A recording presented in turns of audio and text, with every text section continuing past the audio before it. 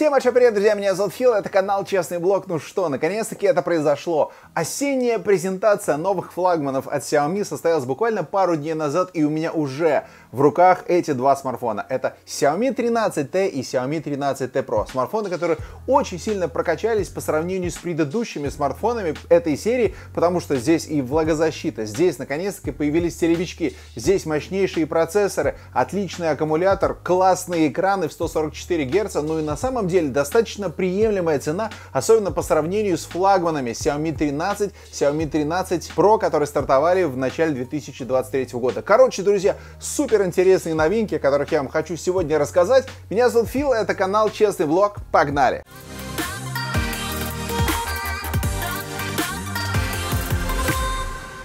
Итак, друзья, это Xiaomi 13 и Xiaomi 13T Pro. Если мы с вами переместимся на несколько лет назад, то мы вспомним, что тогда компания Xiaomi жила надеждами, что она будет соперничать с айфонами, самсунгами. А сейчас, наоборот, компания Xiaomi отлично себя чувствует и выпуская очередной флагман, она говорит, что, ребята, come on, у меня есть отличный смартфон за хорошие деньги, и давайте-ка посмотрим, что из себя представляют два новых флагмана. Еще расскажу, что в Берлине несколько дней назад, 26 сентября, состоялась презентация этих двух смартфонов. Что самое интересное, и Xiaomi 13T, и Xiaomi 13T Pro на самом деле имеют очень много общих характеристик, а это означает, что у них одинаковые экраны, у них практически одинаковые камеры, у них все хорошо по технической начинке и есть небольшие лишь отличия. Но предлагаю начать с двух коробок и посмотрим, что у нас внутри. И начнем с того, что у нас в коробке, конечно же, есть чехол. Это супер обязательная вещь, потому что у нас смартфоны стеклянные. То есть у нас премиальные материалы, да, у нас по бокам алюминиевая рамка, сзади у нас стекло, а спереди у нас крутой 144 герцовый AMOLED экран. Соответственно, если вдруг, не дай бог, этот смартфон упадет, ну, мало, наверное, хорошего из этого что-то получится.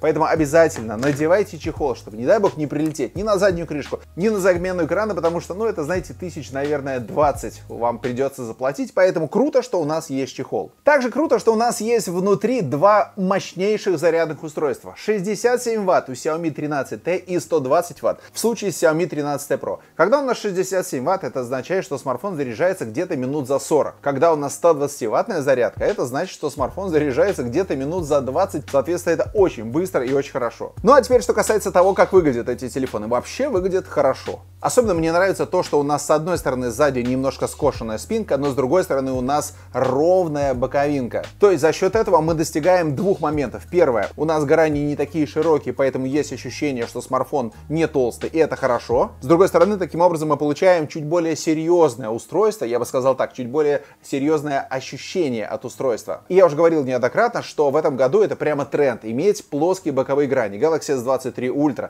Xiaomi 13 Ultra. На новом Huawei Mate 60 Pro тоже плоские грани, поэтому это очень хорошо. Но знаете, что еще очень хорошо? То, что у нас сверху есть инфракрасный датчик, потому что у большинства смартфонов, особенно флагманских, нету сверху инфракрасных датчиков, а здесь есть. Соответственно, телефон можете использовать в качестве пульта управления вашей техникой, возможно, кондиционером, телевизором и так далее. Кстати, у меня, друзья, вопрос. Ходили ли вы, в принципе, с флагманскими Xiaomi? Напишите, пожалуйста, какие это были. Я, вы знаете, начал, наверное, ходить с флагманским Xiaomi где-то, наверное, с Mi 8.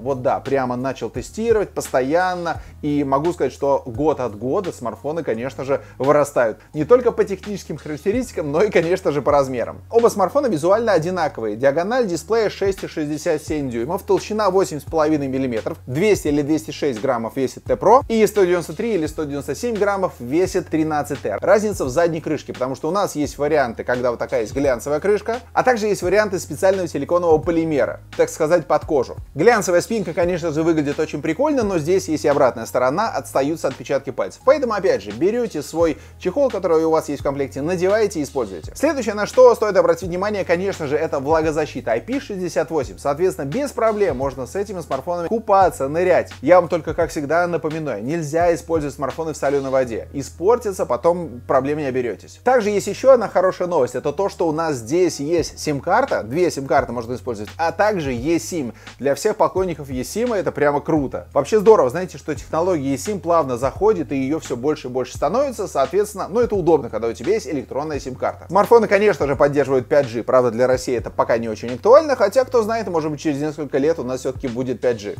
Ну а по экранам здесь все очень хорошо, потому что это яркие AMOLED экраны, 6,67 дюймов диагонали экрана. Это 144 герцовый экран, то есть это повышенная герцовка, соответственно повышенная плавность. А за счет того, что у нас здесь мощнейшие процессоры, о которых мы поговорим чуть попозже, соответственно нету никаких затыков, ну вообще ничего, все работает ну практически идеально. Понятное дело, что идеал не существует, но здесь прямо очень близко. Поддержка Dolby Vision, HDR10+, яркость 1200 нит, а в пике это 2600 нит. Сканер отпечатка пальца встроен в экране, а еще в экране встроен датчик измерения пульса. Соответственно, при помощи этого сканера отпечатка пальца вы можете себе измерить пульс, что может быть вам полезно, особенно если вы любите заниматься спортом. Для того, чтобы запустить пульс, надо зайти в расширенные настройки. Здесь у нас есть пульс. Берете, прикладываете палец на 15 секунд и выясняете, что у вас все хорошо. Ну, по крайней мере, я на это надеюсь. Кстати, еще один прикольный жест, о котором я хочу напомнить вам. У нас тремя пальцами мы можем делать скриншот. Это очень удобное нововведение, которое появилось в большом количестве смартфонов, и это хорошо. Сверху, кстати, у нас все покрыто Corning Gorilla Glass пятым поколением, и, конечно же, у нас сверху есть пленка.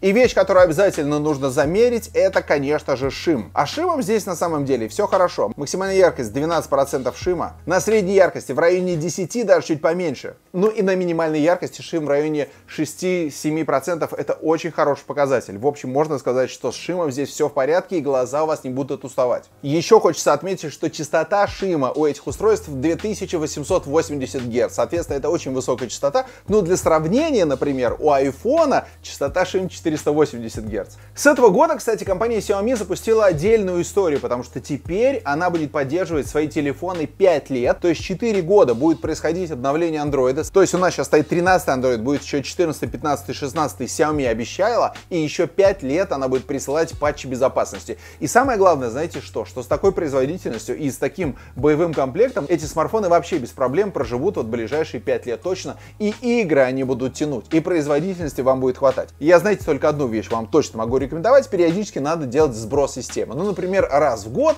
надо делать резервную копию, сохранять все и делать сброс системы, чтобы смартфон был как новенький. И тогда вообще все будет замечательно. Также стоит отметить то, чем напичкан этот смартфон, потому что здесь самые последние технологии. Во-первых, Wi-Fi 6E и 7. Для сравнения, например, у iPhone только Wi-Fi 6E. Также здесь установлен самый последний Bluetooth версии 5.4. Как я уже сказал, сверху у нас есть инфракрасный порт. Естественно, NFC, поэтому вы бесконтактным способом можете расплачиваться в магазинах. Продвинутый GPS L1 и L5, соответственно, у вас более точное измерение местоположения. И единственная вещь, которую нам оставили для того, чтобы мы все-таки могли зацепиться, это снизу не очень быстрый USB Type-C версии 2.0. Соответственно, файлы по проводу передаются, ну, не очень быстро. И что я хочу отметить, все эти крутые технические характеристики есть как в 13T и в 13T Pro. Ну а в чем же у нас разница? В аккумуляторах. Потому что у нас установлен 5000 мАч аккумулятор в одном и в другом смартфоне, но, как я уже говорил, 120-ваттная зарядка у нас в 13T Pro и в 13T 67-ваттная зарядка. Соответственно, 120-ваттный смартфон заряжается примерно за 20 минут с копеечкой, а когда у нас 67 ватт, соответственно, где-то 40-50 минут и смартфон заряжен. Короче, очень круто. По памяти вот что хочу отметить. У нас нету слота под карточку памяти. 13T это 8256 или 12256, UFS 3.1, а вот 13 Pro здесь все очень серьезно. Во-первых, это UFS 4.0, самый последний стандарт накопителя, соответственно, самая быстрая память. Ну и начинается все от 12 250 256, также 12 на 512 и 1 терабайт и 16 гигабайт оперативной памяти. Очень крутой комплект. Единственный момент, на который я хочу обратить ваше внимание, чем больше у вас оперативной памяти, тем больше приложений у вас держится в памяти, вы быстрее между ними перемещаетесь, но тем больше она и выносит память. Так что помните это и периодически выкидывайте все ненужные вам приложения, тем более, что у нас есть просто одна кнопочка, при помощи которой мы можем легко очистить всю память. Кстати, отдельно хочу отметить вибромоторчик, который здесь работает хорошо. Здесь такой приятный приятный линейный вибромоторчик, соответственно, у нас прям такие очень четкие отстукивания. Что касается стереодинамиков и того, как здесь все звучит. Ну, во-первых, все звучит хорошо, но есть все-таки небольшой перекос на нижнюю составляющую, потому что у нас, так сказать, полуторная система. Да, у нас снизу более мощные динамики, сверху у нас звук идет из разговорного динамика. Но по стереопанораме все хорошо. Плюс, если зайти в настройки, то мы обнаружим, что здесь есть эквалайзер. Соответственно, вы без проблем, если вам хочется побольше низов или побольше средних или высоких частот, заходите в звуки и вибрация, здесь опускаетесь ниже, звуковые эффекты. И вот здесь как раз таки вы можете выбрать свой эквалайзер. Также обязательно рекомендую включить Dolby Atmos для того, чтобы у вас была более широкая стереопанорама. Тут же в разделе звуки и вибрации я вам рекомендую настроить тактильный отклик. Во-первых, его включить, а во-вторых, вы можете выбрать, насколько он будет мощным или менее мощным. Мне нравится, когда смартфон вибрирует хорошо, поэтому я ставлю максимальный. Здесь же, кстати, есть более тонкие настройки звучания вашего смартфона. Ну, например, вам не очень нравится, а может быть нравится, когда смартфон мы загружаем, да, у нас звучит приветственный звук. Если вам, например, не нужен этот звук, пожалуйста, заходите в расширенные настройки и вот воспроизводить звук при включении устройства. Берете это дело, отключаете и все, стартуете без звука. В общем, я на что обращаю ваше внимание? На то, что система MIUI очень сильно наполнена большим количеством настроек. Мне нравится, как человеку, который интересуется техникой, нравится здесь покопаться. Здесь масса всего интересного. Ну и, конечно же, так как у нас здесь мощнейшие процессоры, то у нас здесь все работает очень хорошо. Кстати, что касается о процессорах. У нас здесь установлены разные системы. В 13T у нас установлен MediaTek Dimensity 8200 Ultra 4 нанометра. Смартфон выдает 907 тысяч баллов Antutu, нагревается до 32 градусов и теряет 5% аккумулятора. И если мы проходим тротлинг тесты, то смартфоны показывают хорошую производительность, но при этом достаточно сильно нагревается. 13T нагревается до 40-50 градусов. И что касается производительности, смотрите, какую штуку в этом году придумала компания Xiaomi. Она решила немножко поднять температурный порог, то есть давать смартфону работать по полной программе, но при этом он побольше нагревается. То есть, по сути, ведь у нас есть две системы. Либо во время тротлинга смартфон начинает терять производительность, но при этом не очень сильно нагревается, но зато вы получаете просадки в играх. Либо другой вариант. Смартфон нагревается больше, при этом дает большую производительность, и вы получаете меньше просадок. И здесь компания Xiaomi как раз и пошла по второму пути, то есть она дает большую производительность, и смартфоны чуть больше нагреваются. При этом, конечно же, есть система охлаждения, которую нам рассказывали на презентации. Ну а в 13 Pro все еще серьезнее, потому что здесь стоит флагманский MediaTek 9 1200 плюс. Это полтора миллиона баллов, это нагрев до 40 градусов, но, правда, падение 7%. Я бы сказал, что падение аккумулятора большое, а все остальное очень хорошее, по-флагмански, по-замечательному. Ну и как мы с вами поняли раньше, чипы нагреваются. 47 градусов нагрева это тоже достаточно много, но при этом, опять же, если мы посмотрим на график тротлинг теста, все достаточно хорошо. То есть смартфон долгое время может работать на высоких нагрузках, при этом он нагревается. Но опять же, у нас есть в комплекте силиконовый чехол. Соответственно, если смартфон нагревается, у нас сверху надет чехол, и вы это не очень сильно ощущаете. Ну и так как у нас мощный смартфоны, вы можете без проблем использовать их абсолютно в любых играх,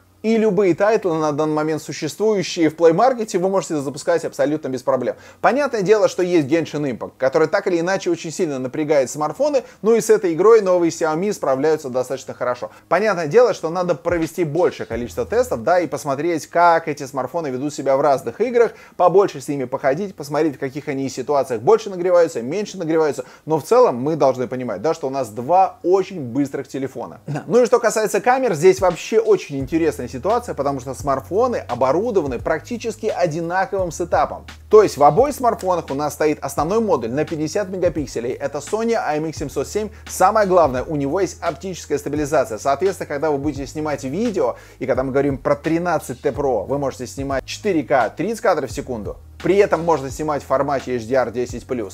А когда мы говорим про 13 Pro, здесь можно снимать 4К 60 кадров в секунду. А еще здесь можно снимать 8К 24 кадра в секунду. Ну и что я могу сказать по фото и видео возможностям? Во-первых, видео снимаются очень плавно. Прям работает стабилизация очень хорошо. Я так понимаю, что во время съемки видео у нас работает как оптическая, так и цифровая стабилизация одновременно. Соответственно, картинка получается очень прикольной. Вы сейчас видите, как это все дело работает. Во-вторых, сама картинка тоже получается хорошей. То есть у нас хороший динамический диапазон, приличная стабилизация и приличная детализация. Что касается фото возможностей, здесь тоже все очень хорошо, и смартфоны дают возможность получать хороший флагманский уровень.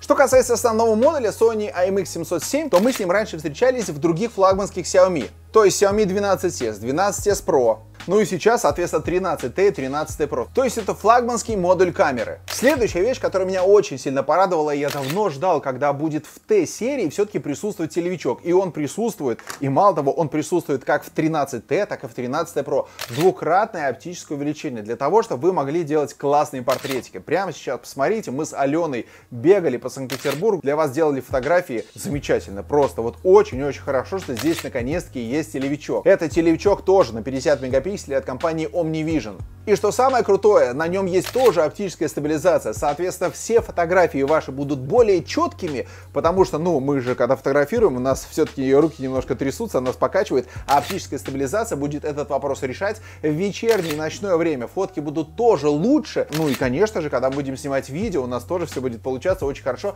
потому что есть оптическая стабилизация. За это вот вообще компании Xiaomi большой респект. Я, знаете, когда первый раз посмотрел на спецификации после презентации, я так подумал, красавчики, просто поставили телевичок, молодцы. Причем в обе модели. Раньше, кстати, если переместиться на пару лет назад, например, Xiaomi 11T, 11T Pro, 12T и 12 Pro, там прям была большая разница по камерам. И обычная Тэшка проигрывала в версии T Pro, а в этом году прямо сделали одинаково. Хорошо. Ну еще у нас есть ультраширик на 12 мегапикселей. И единственный момент, которого нету в ультраширике, это нету автофокуса. Соответственно, вы не можете делать макрофотографии. Ну и, конечно же, эти смартфоны делаются в сотрудничестве с компанией Leica. Соответственно, у нас есть дополнительные режимы от Leica, которые дают специальную цифровую и специальную цветовую обработку, при помощи которых вы можете придать особый шарм вашим фотографиям. В общем, для всех, кто любит компанию Leica и для тех, кто хочет иметь крутой фотофлагман, ну, соответственно, этот вариант для вас. И фронтальная камера у нас тоже одинаковая. На двух смартфонах у нас 20-мегапиксельная камера, и вы можете посмотреть, как у нас получаются фотографии, они тоже получаются хорошими. Вообще, вы знаете, друзья, я так думаю, что можно без проблем эти смартфоны проверить боем. Поэтому, если вы хотите, чтобы я сделал какое-то фотосравнение с каким-нибудь другим флагманом, может быть, от Samsung, может быть, с новым iPhone 15 сравнить,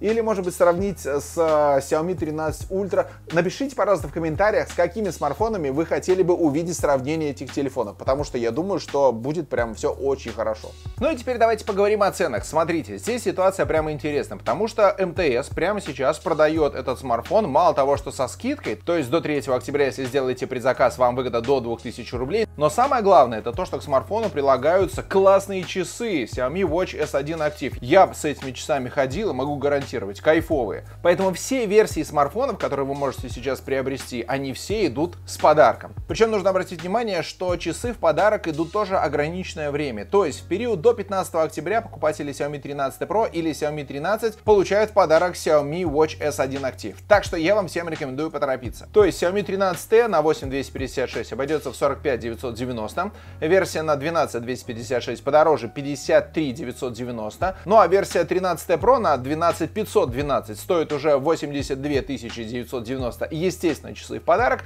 и самая крутая версия на 16,1 терабайт обойдется в 90 990 рублей. И по сути мы имеем разницу основную в производительности и в скорости зарядки аккумулятора. Ну еще возможности снимать 8К. Поэтому если для вас это важно, соответственно 13 Pro это один из вариантов, на который вы можете посмотреть. Если для вас это не так важно, можно купить версию на 8256 и это прямо будет очень хороший вариант. Вот прямо реально очень хороший вариант. Знаете еще один важный момент. Во-первых, у вас 24 месяца гарантии, это раз. Во-вторых, у вас есть бесплатная замена экрана, если вы его разобьете в течение 6 месяцев после покупки. Еще один прикольный момент. У вас есть один бесплатный негарантийный ремонт в течение ближайших 12 месяцев после того, как вы купили смартфон. Короче, мне кажется, что вариант очень прикольный. Я, конечно же, думаю, что с этими смартфонами надо походить, чтобы дать вам максимальный опыт использования. Поэтому я беру эти смартфоны в оборот и чуть попозже вам рассказываю свой опыт использования. Но вообще, в моем представлении, особенно 13T, прямо очень хорошо, прямо вот максимальный топ за свои деньги. Ну а если у вас есть как бы хороший бюджет, и если вы хотите купить себе более производительное решение, 13 Pro. В общем, друзья, мне интересно узнать, что вы думаете по поводу этих смартфонов. Напишите, пожалуйста, в комментариях. Также было бы интересно узнать, какая альтернатива есть у этих телефонов. Тоже напишите, пожалуйста, в комментариях. Давайте посмотрим, какие есть еще варианты за эти деньги. Ну а вам всем говорю огромное спасибо за то, что вы посмотрели это видео. Все ссылочки на 13 и 13 Pro я оставляю внизу. Переходите, посмотрите, изучайте получаете. Обязательно напишите в комментариях, с какими смартфонами, другими фото-флагманами нужно сделать сравнение этих телефонов. На этом все. Большое спасибо за то, что посмотрели. Меня зовут Фил, это канал Честный Блог. А на этом все. Большое спасибо за то, что посмотрели. Меня зовут Фил, это канал Честный Блог. Пользуюсь. Берегите себя и своих близких. Всем счастливы пока.